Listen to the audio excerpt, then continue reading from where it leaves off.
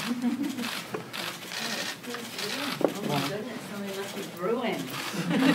morning, everyone. Morning. Good morning. Thank you for accommodating our little bit of a later schedule this morning. We're very excited this week to be having HR 1 debated on the floor. Tomorrow it will pass. I will send it on to the Senate with all of the um, mobilization the outside can provide for cleaner government. This is HR 1, uh, and a priority for a freshman class. They'll be on the steps of the Capitol uh, tomorrow to proclaim their support for it. This is essential to our For the People agenda. Lower health care costs by lowering the cost of prescription drugs and preserving the pre-existing condition benefit. Lower health care costs, bigger paychecks by building infrastructure of America in a green, modern way for the 21st century. But the public belief that we can do that depends on our passing legislation uh, to amplify the voices of the American people and reduce the voice of dark special interest money that has influenced decisions in Congress before. Uh, it is uh, also H.R. 1 about ending voter suppression. What are some people afraid of when people have a right to vote? It contains John Lewis's language, uh, fighting voter suppression. It also contains a path uh, to H.R. 4, which is to restore the Voting Rights Act to its fullest uh, efficacy as it was pushed back by the Supreme Court. Uh, and it, it also uh, it also is a, a way to uh, empower small donors over uh, big donors so that the public again knows that everyone's voice is as important as anyone else's voice. Again, it was a confidence, it's about confidence, about ending skepticism. I've said in Texas a couple days ago at such a, a town meeting on the subject of H.R. 1 and how it related to uh, voter suppression that uh, when we talk about voter suppression, we, we largely talk about reducing the hours that polling is available, the number of polling places, the number of days. Uh, it's about time and location, et cetera, in certain areas where polling places are closed. But one of the big suppressors of the vote is the suffocation of the airways by big dark money misleading the public, uh, not telling the truth about what is at stake in the election, and public shows up their hands and then just decides not to vote. So this is this is about honoring our democracy. Uh, we said we were going to do it as, as we have proceeded, building on what we talked about last week. The committees continue to have introduce bills, have hearings on bills to lower the cost of prescription drugs and protect the Affordable Care Act. Uh, continue to have uh, legis- uh, hearings on how we proceed on infrastructure, and HR 1 be on the floor today. We also said we were going to pass legislation to advance common sense gun violence prevention, and we did uh, last week with H.R. 8. Next week, we'll be launching uh, our Equality Act to end discrimination uh, and for the LGBTQ community, and we will also be launching our initiative to protect the Dreamers and the um, and temporary protective status persons in our country. One more bill before the end of the month will be, uh, well, two more. One will be equal pay for equal work, which comes back to our original lower increased paycheck, lower health care costs, increased paychecks, and we will be uh, on a path to pass once again the reauthorization of the Violence Against Women Act. So we said these things during the campaign, we, and we, we are getting it done, and we're telling the public about the paths uh, that we are on to get them turned into law to make a difference in the lives of the American people. I was glad to send to the Senate and to therefore to the President uh, the Land and Water Conservation Bill named for John Dingell uh, the other day. So uh, while so much else is swirling around here in terms of investigations, uh, uh, the Mueller investigation, the fundamental responsibility of Congress to have oversight over the executive branch and other items, uh, we are doing our housekeeping as we keep proceeding with legislation for the good of the American people. I was particularly happy this week that we were joined by four senators who have been former members of the House, Senator uh, uh, Leader Chuck Schumer, uh, Maria Cantwell, uh, Ron Wyden, and Ed Markey. They joined us to launch our net neutrality legislation led by Mike Doyle, uh, Chair of the Technology Committee of the Energy and Commerce Committee, along with other members of the committee, including Chairman Pallone. Uh, Anna Eshoo was the godmother of that legislation. She too joined us. So uh, we're busy with our legislative work, despite what we might read in the press. Madam Speaker, Lord. uh, Yes, do you think that Ilhan Omar understands why her comments were problematic? And what happens if this happens again? Well, uh, first of all, thank you for the question. Uh, I don't, I don't think that, um, that the Congresswoman is, uh, uh, perhaps appreciated the full weight of how it was heard by other people, although I don't believe it was intended in any anti-Semitic way. But the fact is, if that's how it was interpreted, we have to remove all doubt, as we have done over and over again. Uh, We're working now on a resolution that to see uh, when we bring it to the floor, uh, that will again speak out against anti-Semitism, uh, anti-Islamophobia, anti-white supremacy in all the forms that it takes, uh, that our country has no place for this. But on anti-Semitism, we voted a resolution on that just recently. When I was, uh, a couple weeks, a week and a half ago or so, in, at the Munich conference and then in Brussels for the NATO meetings, at every meeting, at every level, at the highest levels, our delegation impressed upon our European allies the importance of fighting anti-Semitism in our countries. This was well before the Iran statement that, that emerged this weekend. But when it did, uh, it was important for me to speak to the member first before we would proceed. She was in Africa.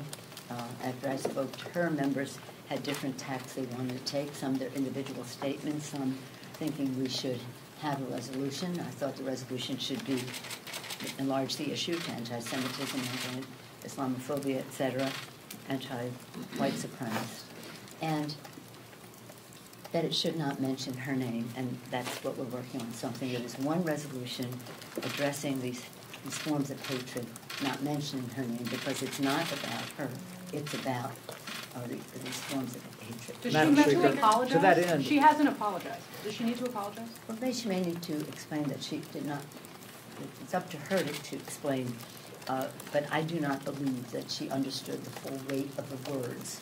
I say, when you're a Congress, when you're an advocate out there, as I was, so I appreciate all the enthusiasm that comes into our Congress. Told you that before, that, that was me pushing a stroller and carrying those signs, so I understand how advocates come in uh, with their enthusiasm. Um, But when you cross that threshold into Congress, the words weigh much more than when you're shouting at somebody outside.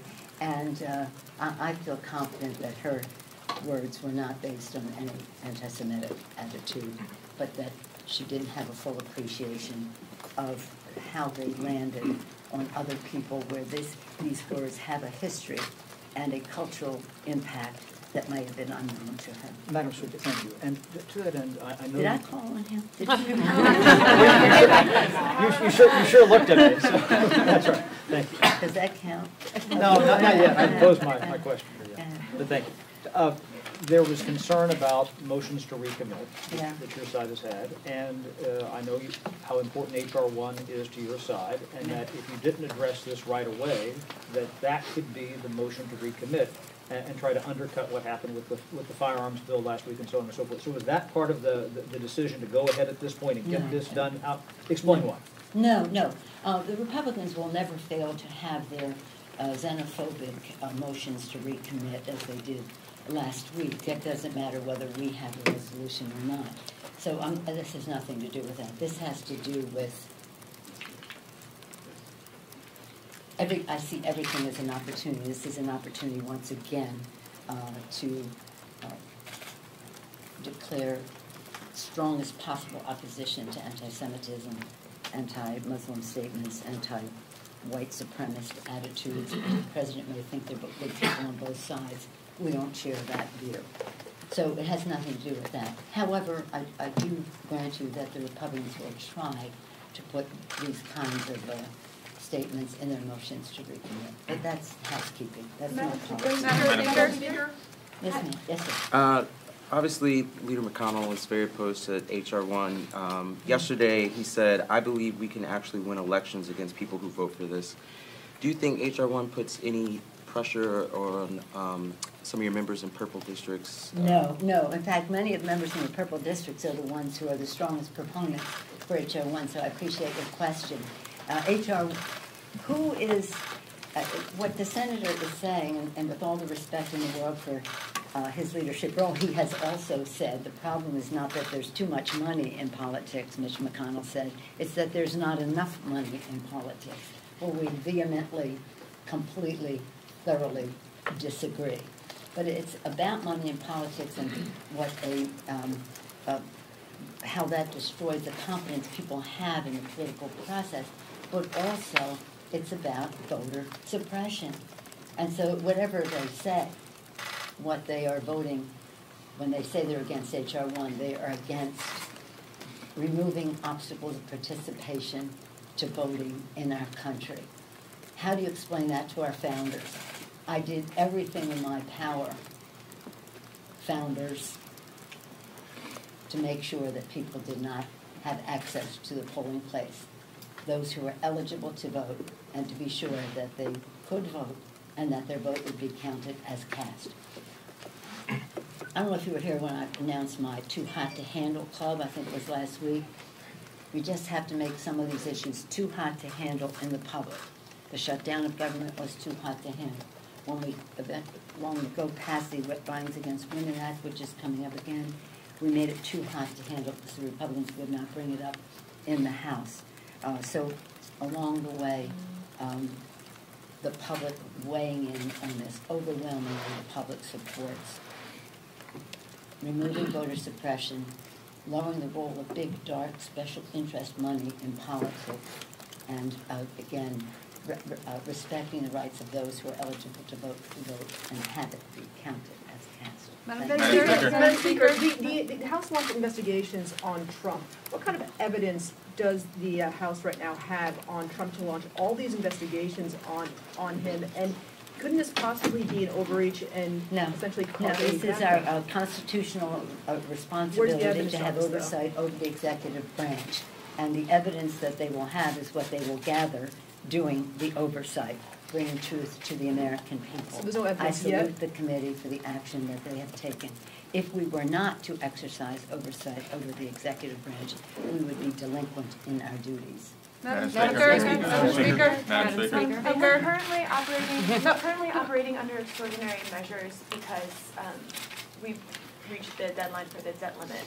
What's the current plan to either raise or extend the debt limit, and are these I think there's conversations? a few more days uh, for that, don't we, isn't it? We're working under extraordinary measures right now. Well, the- the- according to the Secretary of the Treasury, those extraordinary measures will go until September or October. Uh, Let us hope that long before that, we will have lifted. Does that mean it's not an urgent problem? It doesn't mean it isn't urgent, it just means that we have to address it. Uh, Everything is urgent here, right? Uh, This Madam- is urgent, but everything is also an opportunity, an opportunity to have a giant civics lesson for America as to what the role is of government, of each of the branches of government, and the extraordinary nature of the president usurping uh, the constitutional powers of the legislative branch, Article One, immediately following the preamble. And that's why we were so pleased that we were able to succeed in passing that legislation. Oh, did I mention that? Under the leadership of Joaquin Castro. And now it's in the Senate where the Senate, senators are asking the president to withdraw. Madam Madam Speaker, can you, can you address, Usurpation of the Constitution of the United States. Madam Speaker, can you address the dangers of policing speech? You have spoken about this previously this year, when, when one of your members used an expletive to describe the president.